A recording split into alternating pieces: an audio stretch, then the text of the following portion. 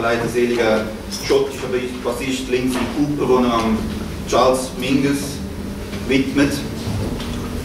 Und da Sie so ein aufmerksames Publikum sind, besteht auch nicht die Gefahr, dass ich an Mingus in äh, Monolog halten werde.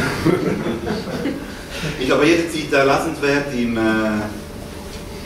irgendwas so, Sozialgeschichte ist egal, ist lesenswert im Monolog etwas Abstoßendes, aber lassen Sie Wo wir als Band äh, uns geeinigt haben, dass ich den auswendig lerne, für den Fall, dass wir das Publikum nicht so aufmerksam wäre, würde ich den Ich meine, die Insider da wissen, dass der Renzo Spotti generell Monolog sehr lesenswert Und auch sonst sehr gerne monologisiert. Und angefangen haben wir mit der Harrington-Nummer.